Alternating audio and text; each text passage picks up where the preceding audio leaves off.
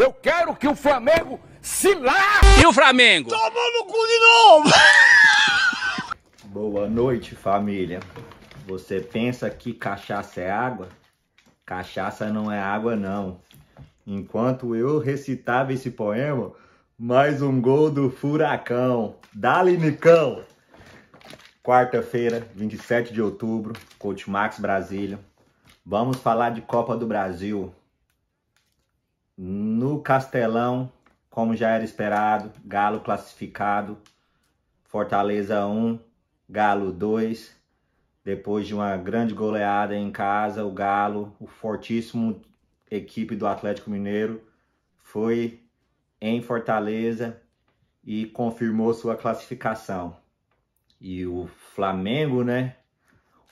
O Barcelona das Américas, estou aqui em, com a camisa do Barcelona em homenagem ao Flamengo, né? Que é o Barcelona das Américas, né? Pode até ser que seja o Barcelona mesmo no ano de 2021, que o Barcelona tá uma draga igual o Flamengo também. O cheirinho voltou. Então é isso, família. Estamos aqui para falar sobre isso. Uma quarta-feira, 27 de outubro, Coach Max Brasília vai trazer para vocês tudo, tudo, todos os detalhes sobre Flamengo 0, Atlético Paranaense, o Furacão Malvadão 3, 0 a 3. Eu vou react para a coletiva do Renato Gaúcho. E é isso. Queria já mandar de antemão um alô para todos os meus familiares flamenguistas. Meu pai é flamenguista, meus tios, a maioria dos meus amigos. Um abraço aí especial pro grupo do WhatsApp, os Cachaceiros Futebol Clube, Jonathan, César Brito, Roberto, todos os flamenguistas do grupo. Aquele abraço. Você pensa que cachaça é água? Cachaça não é água não. Gol do Nicão. Tamo junto. Produção, solta a vinheta e vamos falar da Copa do Brasil. React para a coletiva do Renato Gaúcho, hein? Fica aí. Vamos ver o que, que o Renato Gaúcho teve a dizer sobre essa derrota no Maraca. Vamos lá, produção, solta a vinheta.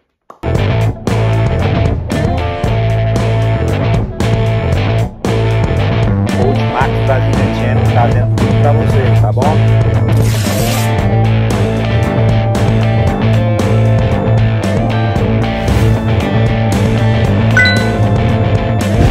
Então, família, Coach Max Brasília aqui. Como eu disse no último vídeo, né? É... O Flamengo é muito simples, né? É uma nação cujo essa nação, quem não torce a favor, torce contra. Eu torço contra, sou anti-Flamengo, devido a, a muitos familiares chatos aí que torcem pro Flamengo. Me fez virar um anti-Flamengo. Então é isso, né? Como eu disse, tô aqui na zoeira. Tá muita zoeira nas redes sociais aí. E eu também sou um torcedor e gosto da zoeira também. Mas é isso, eu queria mandar um abraço especial aí pro meu amigo Jonathan, um amigo do canal que sempre pede os vídeos. César Brito, chupa, chupa minha benga. Moleque, é tudo nosso. Furacão, tamo junto. Agora a grande final aí da Copa do Brasil vai ser a grande final aí dos Atléticos, né? O Galo e o Furacão, o Atlético Mineiro e o Atlético Paranaense vão fazer a grande final da Copa do Brasil. E é isso, né? Eu tô aqui para mandar aquele alô para nação flamenguista. Hoje o Renato Gaúcho sofreu bastante no Maracanã, né? Teve aquele famoso coro de Ei, Renato, vai tomar no cuidado. Também, isso foi um dos, dos das ofensas aí pro Renato, né? Também hoje gritaram o nome do Mister, Jorge Jesus, a, a torcida do, a, os viúvos rubro-negros aí não consegue esquecer o, o Jorge Jesus, né? Mas é isso, né, pessoal? A Copa do Brasil foi isso. O Galo confirmou sua classificação, seu passo para a final. E o Flamengo aí, que já se considerava na final, né? Ficou no cheirinho, o cheirinho tá regressando. Mas vamos lá, vamos direto pro ponto aqui. Coach Max Brasília vai trazer para vocês aí, vamos react aí para a coletiva de imprensa, o pós-jogo do Renato Gaúcho. E já tá na agulha aqui, né? Então vamos lá então, vamos, vamos ver o que, que o nosso técnico aí, o Renato Gaúcho, é, se explicou, né? Falou sobre essa, essa derrota aí de 0 a 3 Em casa não, porque o Flamengo não tem casa, né? Mas vamos lá, vamos escutar o, o, o professor Renato Gaúcho aí. Vamos ver o que ele fala. Renato Portaluppi com vocês. Nação Flamenguista e nação aí do canal do Coach Max Brasília. Deixa seus comentários aí. Vamos lá, vamos. Me fala aí quem foi o pior em campo hoje, quem foi o melhor em campo. Eu acho que o Nicão foi o melhor em campo, né? O pior em... Nicão, o Santos também catou muito, hein? Vai ficar difícil essa aí. Vai ficar difícil da gente decidir quem foi o melhor em campo. Nicão e Santos, monstro. Vamos lá, Ricardo Portaluppi com a gente aí, com vocês. Vamos ver o que ele tem a dizer. Com você, João. Abrindo a entrevista do técnico Renato Gaúcho aqui no Maracanã, a primeira pergunta é do Caê Mota, do GE. Renato, boa noite. Você falou algumas vezes que fazer esse time jogar bonito com todo investimento era fácil e os técnicos que passaram pelo Flamengo deviam ser cobrados por isso. O Flamengo, sob seu comando, no entanto, há uhum. muito tempo não consegue nem mesmo jogar bem e de maneira organizada. O que esperar e cobrar faltando um mês para a final da Libertadores? É, quando fui contratado pelo Flamengo, nós estamos em, em três competições. Infelizmente, nós saímos hoje da Copa do Barcelona Brasil. das Américas. Estou chateado, o grupo está chateado, está triste, nem poderia ser diferente, até porque o nosso objetivo era é, irmos a mais uma. Também estou chateado. Final. Temos algumas possibilidades ainda no Campeonato Brasileiro e estamos na final da Libertadores. Pergunta da Monique Danilo do TNT Esportes. Renato, boa noite. No fim da partida, o torcedor na arquibancada se mostrou insatisfeito e gritou o nome de Jorge Jesus.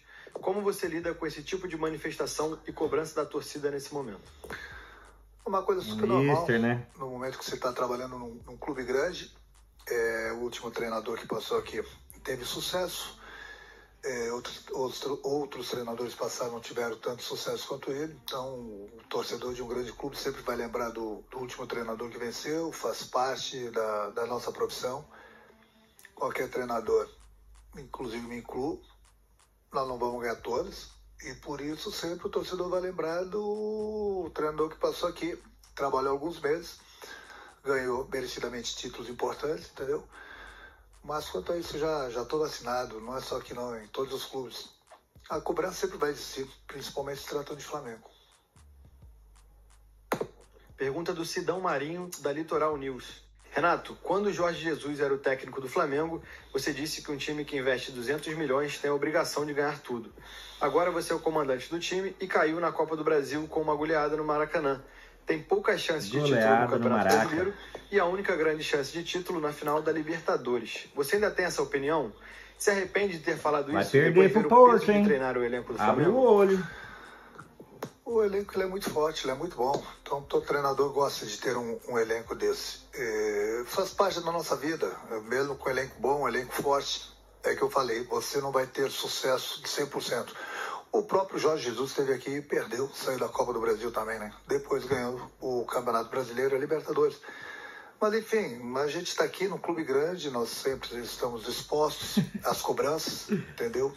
E no nosso futebol a gente sabe que, infelizmente, quando a gente não consegue os resultados que a gente espera, principalmente tratando de, de torcida do Flamengo, que é a maior do Brasil, a cobrança é sempre muito, muito grande. Pergunta da Letícia Marques, do Coluna do Fla. Boa noite, Renato. O Flamengo caiu duas posições no Campeonato Brasileiro na última rodada. O Atlético Mineiro abriu 13 pontos na liderança. Com a queda na Copa do Brasil, tá a mão na taça do Brasileirão, Galo. É a única grande ambição do Flamengo na temporada? Não, nós temos chance no brasileiro, lógico que as chances são remotas. Para. Nós saímos, já Para, falei, tá todo mundo triste, está todo mundo chateado pela eliminação na, na, na Copa do Brasil. Também estou chateado aí pela eliminação. E algumas chances nós temos ainda no Campeonato Brasileiro. A partir da manhã é virar a página, pensar no Atlético no, no, no próximo sábado. E durante o Campeonato Brasileiro, enquanto tiver chance, a gente vai brigar. E ao mesmo tempo a gente vai ajeitando a equipe para a final da Libertadores. Pergunta de Marcos Coelho, da Rádio Tupi.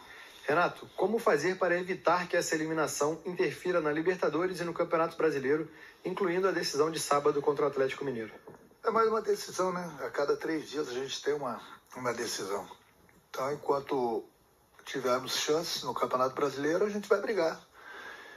O Flamengo está na final da, da, da Libertadores no, no, no, no, próximo dia 27 e vai servir também, ao mesmo tempo, a gente ver até onde a gente vai no Campeonato Brasileiro, vou brigar enquanto houver chance e, ao mesmo tempo, como já falei, aí preparando a equipe, recuperando todos os nossos jogadores para a final do, da Libertadores. Pergunta da Luciana Zogaib, da Rádio Ferge. Você considera um equívoco a escalação inicial? Por que insistir com o Andrés fora da posição que o próprio jogador disse sentir mais à vontade? Muitas vezes você pega o inimigo, é, de repente, de surpresa, fazendo alguma coisa diferente. E foi o que eu tentei fazer na partida de hoje, colocando o André um pouquinho mais aberto e colocando o Bruno em cima do zagueiro juntamente com, com o Gabriel, já que nas últimas partidas o nosso atacante estava sempre bastante isolado. Então foi uma maneira da gente procurar surpreender o, o Atlético. Infelizmente para a gente o Atlético foi lá três, quatro vezes, conseguiu fazer três gols. Nós tivemos inúmeras oportunidades, principalmente no, no, no segundo tempo. Infelizmente a bola não quis entrar hoje e nós saímos de uma competição onde nós queríamos muito ir para a final. Como eu já falei, está todo mundo chateado. Eu entendo a revolta da, da torcida. A torcida sempre vai querer ganhar, não é só aqui, não, em qualquer lugar. E no momento que uma, um clube grande como o Flamengo é, sai de uma competição dessa, é lógico que o torcedor não fica nada satisfeito. Pergunta de Léo Burlar, da UOL. Renato, boa noite. O Flamengo mostrou desorganização tanto atacando quanto defendendo. Tem sido uma tônica nos últimos jogos e o time vai se desorganizando mais a cada dia que passa. Qual a sua responsabilidade nisso? True story. A responsabilidade da derrota é toda minha. Uma desclassificação numa competição é toda minha. O grupo não tem Paciência. culpa de nada. Agora, discordo um pouco com ele, né? Por, em termos de desorganização, é o que eu falei, o Atlético foi lá três, quatro vezes, é, conseguiu fazer três gols. Se você for ver as oportunidades que o Flamengo criou, foram mais de 20. Mais de 20 oportunidades. Então, uma equipe que está desorganizada não cria tanto. Então, infelizmente, só pra gente hoje, a bola não quis entrar. Pergunta do Gustavo, do canal Gustavo Henrique Dando Choque. Renato, você tem condições de continuar no comando do Flamengo? Aquilo que eu falei, eu já estou bastante vacinado, né? Já trabalhei em, em grandes clubes. Tá pressionado, é, hein? Sei da, da cobrança, principalmente se tratando de, de, de, Flamengo. No momento que você não consegue a classificação dentro do, do Maracanã, onde todo mundo esperava. É normal, é normal a cobrança Amanhã depois, outro treinador vai estar aqui, vai ser cobrado também, outro treinador vai estar trabalhando em outro clube, eu vou estar trabalhando em outro clube, nós vamos ser cobrados também. A nossa vida é assim, no momento que não ganha, é, sempre temos sempre um único culpado, que é o treinador. Mas eu, eu vou defender meu grupo sempre, o meu grupo não tem culpa de nada. Se tem algum culpado aqui, em todos os sentidos, chama-se Renato Portaluppi. Pergunta de Léo Pinheiro, da Rádio Transamérica. Renato, qual o grau de responsabilidade você assume nessa eliminação por 3 a 0 Toda. Eu acabei de responder. A responsabilidade toda minha. Totalmente minha. Pergunta de Sérgio Lobo, do Sport TV. Renato, alguns jogadores caíram muito na parte técnica. Você avalia que possa ser um desgaste físico de um time que agora não vai mais parar de jogar até a final da Libertadores? Não, eu acho que a pergunta é bem colocada mas é, até agora nós não paramos. Não seria agora que nós iríamos parar, mas eu vou falar do desgaste físico, que a gente teve muitos problemas com o jogador no departamento médico, e jogadores no momento que saem do departamento médico eles não voltam 100%, as pessoas vão falar que eu estou dando desculpa. Não, não tem desculpa. A gente joga uma decisão a cada três dias, é, todo jogador ele tem a boa fase, a má fase, acontece. Eu volto a repetir, a responsabilidade é toda minha. Pergunta do Mauro Santana, do canal do Mauro Santana. Após ser eliminado na Copa do Brasil e deixar o Atlético disparar no Brasileirão, qual o futuro do Flamengo na temporada? Cheirinho. É o que eu já falei, né? Nós temos algumas é, chances no, no, Campeonato Brasileiro. Enquanto houver chance, a gente vai, vai, brigar. A partir da manhã a gente vira a página da Copa do Brasil. Vamos pensar no nosso jogo contra o Atlético no, no próximo sábado. É, enquanto houver chances matemáticas, a gente vai, vai lutar, vai brigar, vai buscar. Até porque, é aquilo que eu falei, no próximo dia 27 a gente tem uma decisão da, da Libertadores, que somente Flamengo e Palmeiras estão lá. Então a gente vai brigar enquanto der pelo brasileiro e ao mesmo tempo a gente vai recuperar nossos jogadores 100% e vai preparar a equipe para a final da Libertadores. Penúltima pergunta da coletiva é do Flávio Vinick, do SBT. Renato, acha, justo os xingamentos dos torcedores no fim do jogo?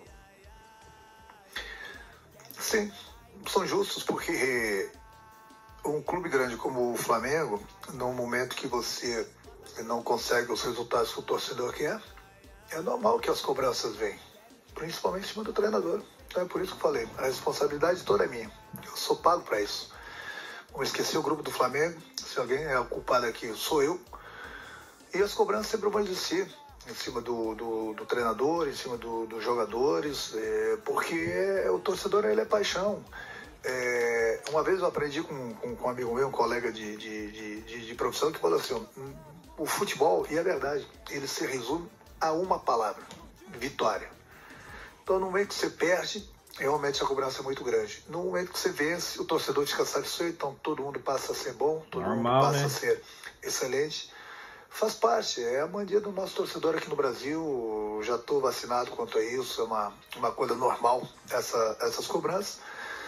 E quem não souber conviver com isso, infelizmente está na profissão errada.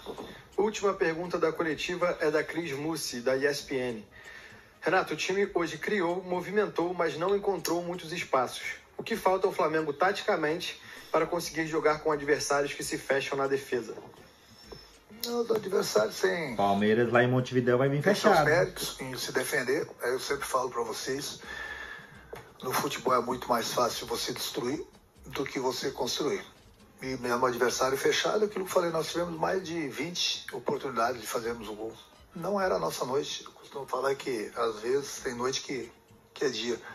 Então, mesmo com o adversário fechado, que é a maneira deles jogar, principalmente hoje que eles acharam um gol é, logo no início do, do jogo com o pênalti, fecharam ainda mais, mas nós criamos. Se nós tivéssemos feito os gols ou um gol ainda no primeiro tempo ou no início do tempo, a história do jogo seria diferente. Mas infelizmente a gente criou, criou e não conseguimos fazer o gol que eu falei para o meu grupo ainda no vestiário. A gente não tem que ficar pensando em fazer dois gols. A gente precisa de um gol. O torcedor vai incentivar a gente e a gente vai conseguir chegar ao empate. Mas infelizmente para a gente, a gente criou sim, como já falei, mais de 20 oportunidades. Mas hoje não era o dia da bola entrar. Fim da coletiva de imprensa do técnico Renato Gaúcho, o Flamengo se representa amanhã no Ninho do Urubu. Flá TV é mais Flamengo. Tá aí, família. Rapadura é doce, mas não é mole não. Gol do Nicão. Dali furacão. Então é isso aí, vamos finalizar aí reacting para essa coletiva de imprensa do Renato Gaúcho, nosso querido Renato Portaluppi. E hoje, como foi uma quarta-feira, né, eu fiquei suave, só na coquinha com limão. Gol do Nicão, dale furacão. Um grande abraço para vocês, família. Se inscreva, deixa seu like. Se você gosta de futebol, tamo junto. Mais uma vez, um grande abraço aí pro meu grupo de WhatsApp, os Cachaceiros FC, que a zoeira não tem limite e vai sair noite afora e zoeira no Flamengo, hein? Tamo junto. Partiu, Corte Max Brasília. Fui!